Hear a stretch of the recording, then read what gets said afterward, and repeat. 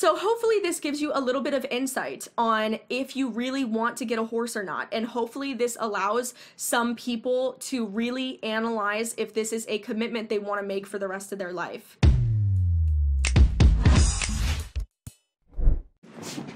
Hey bitch!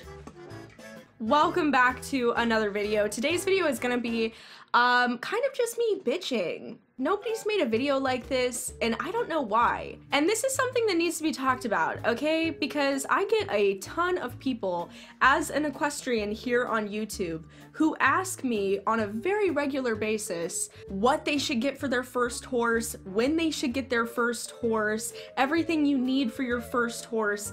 And I'm here to tell you, you don't need a horse. And here's why. Horses suck.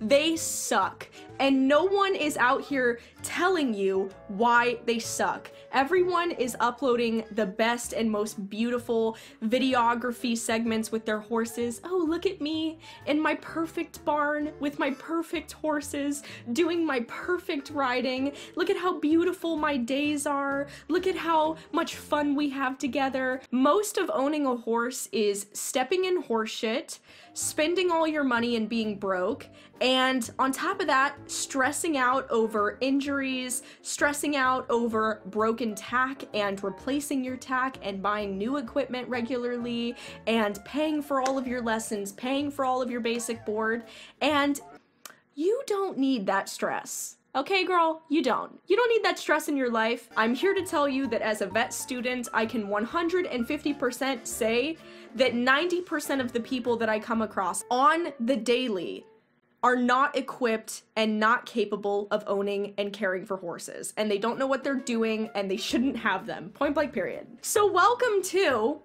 why you shouldn't own a horse from an equestrian because it is not as beautiful and fun and amazing as what a lot of other equestrians make it out to be, like what you see on the internet. But before we get into this video, I wanted to say a massive thank you to myself for sponsoring this video as always. I'm so great. I mean, I'm so reliable. I always manage to sponsor every single one of my videos and I just love it. I love myself. So a massive thank you to Link Equestrian for sponsoring this video. If you guys don't know, we actually are releasing some new designs, which stirred up quite a bit of controversy that will be on linkequestrian.com next Friday, which is March 18th.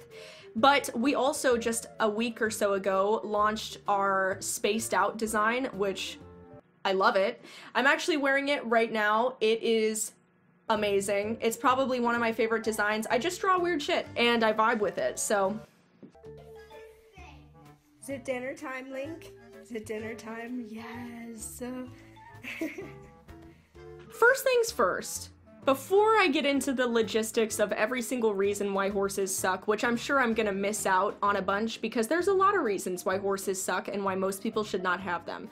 One thing I'm gonna say is that if you are under 16 years old, I just personally believe that you shouldn't have a horse. I'm sorry to say this, it's hypocritical because I got my horse when I was 13, but let me tell you, the reason why I'm saying that is because now that I'm an adult, I struggled okay? I had to pay for my horse myself. I had to work every single day at the barn. I literally had to quit school in middle school and do homeschooling because I was at the barn all day trying to clean stalls to pay for my horse's board, and it was incredibly stressful. It is definitely something that I don't regret, but also I kind of wish that I hadn't done because I missed out on a lot of core experiences as a child that a lot of my friends got to experience and I didn't because I was at the barn every single day working and doing the same shit over and over just to pay for my horse's board. That's why I tell people that if you're under 16 and preferably 18 years old,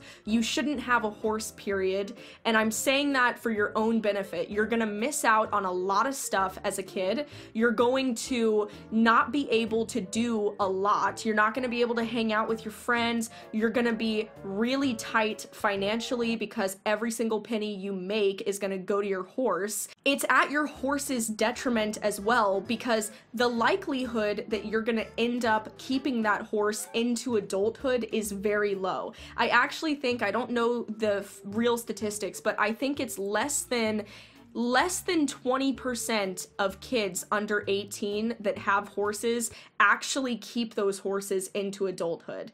And that's a lot of horses that end up homeless or being rehomed to other places. And that's obviously not ideal. If you're gonna get a horse, you should expect to keep that horse for the duration of its life, which is 30 plus years. Trust me, you'll thank me for this. I know it sucks because I know there's a lot of kids that go through the pony phase and they really want a horse and I get it. I went through it. I experienced it. I know it sucks, but you will thank me for not getting a horse. What you should do instead is lease a horse lease a horse. I don't know why so many people don't want to lease. Leasing is one of the best things ever because you can lease a horse, you don't have to pay for any of the horse's medical expenses or farrier expenses or annual expenses or board. You just have to pay for your time with the horse. So you can go out and ride whenever you want. Tack is usually provided to you and you don't have to pay for anything for the horse other than the time you spend with it. Honestly, looking back on my life, I love my horse and I'm glad that I have him,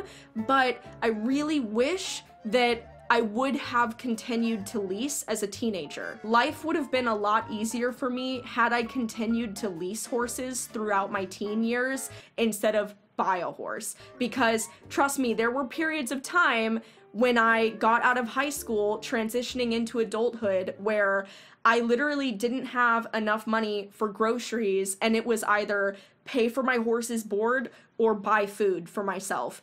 And my horse always came first. So there were literally times where I went without food to pay for my horse. So I recommend that people get horses when they are financially stable enough to have them and house them, and when they can see themselves keeping that horse for 30 years of that horse's life, the duration of the horse's life. It's at the horse's detriment if you're not ready to own them. And it's also at your detriment because a lot of times people are incredibly stressed out when they own horses. And that's why most people, when they get a horse, they only keep a horse for a few years and then they very quickly fall out of love with having a horse because it's just too much work, it's too stressful, it's too expensive, and they just can't keep up that lifestyle. So trust me, it's not as glitzy and glamorous as you think. And now let's get into the nitty gritty bits of it.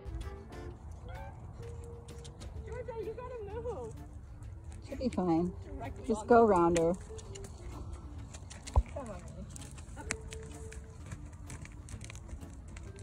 So the biggest question I get is how expensive are horses? And on average, it obviously depends on what you do. It depends on if you're competing, it depends on what type of horse you have, but on average, most horses cost about $10,000 a year.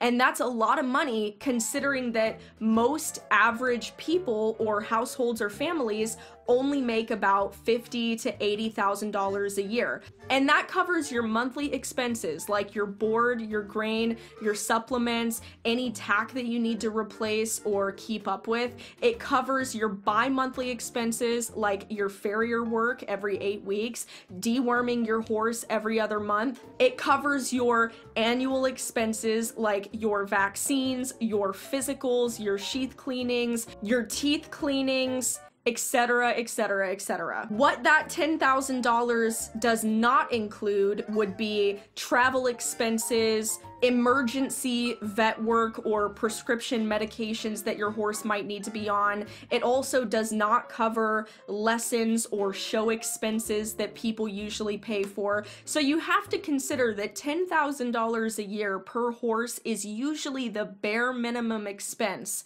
that people spend on their horses. For the average horse and the average person that's not really doing much of anything. But you have to calculate all of your emergency expenses as well. I always tell people that they should have an emergency fund to set aside for their horse of no less than $5,000 in an emergency savings account because usually an emergency vet bill is going to be pretty expensive. What a lot of equestrians won't tell you that I'm gonna sit here and tell you is that owning a horse is incredibly stressful. You worry about your horses every single day because horses are very athletic, very agile animals, but they're also incredibly stupid a lot of the time. They do really dumb shit. They'll go out, they'll play with their friends, they'll, you know, jump up on the side of a fence and cut their shoulder open. Or they'll roll around on the ground and they'll pull a muscle. Or they'll step on a rock and they'll bruise the sole inside their hoof. I'm not even kidding. Owning a horse is probably one of the most stressful things anybody could do in their life. Horses really are a luxury and I just don't really see why so many people are so in love with this idea of owning a horse. This is a real problem that I've seen over the last few years of being on YouTube and being part of the equestrian community is I think that a lot of equestrians romanticize the idea of owning a horse and they make it out to be really fun and really great. And don't get me wrong there are amazing things about owning horses and I love my horses. I will always have them. But the vast majority of owning a horse is stressful and it is expensive, it's time consuming, and a lot of people, to be quite honest, don't have the financial ability or the time to be taking care of horses every single day, and that's exactly why equestrians have such a high turnover rate. That's exactly why so many people fall out of love with horses after just a couple years. So although there are great reasons and great experiences that come come along with having horses, and horses are amazing, and I love my horses, you have to consider the fact that a lot of what you see online is romanticized, and most of owning horses is not glitzy and glamorous and beautiful and fun. And you also have to consider something I left out is medical bills for yourself because you will fall off and you will get hurt. I mean, hey, coming from the girl who spent $80,000 on a metal ankle for my leg because I fell off and my ankle and my leg shattered. So do I recommend horses to people? No. I think the vast majority of people should not own horses and I think the vast majority of people are not capable of owning horses and they are not capable of giving horses the time, attention, care that they need. And that's why so many horses end up in slaughterhouses, so many horses end up being rehomed after just a couple years. So as heartbreaking as it is for me to sit here and tell everyone this. I wanted to make this video because this is the most frequently asked question I get is when should you get a horse? Everything about owning a horse, what you should get for your first horse. And I'm here to tell you, don't get a horse, okay? Lease lease a horse. By the time you're an adult and you're financially stable and this is something that you see as a lifelong commitment for you, then you can decide to get a horse and you can decide if it's something that you really want to do.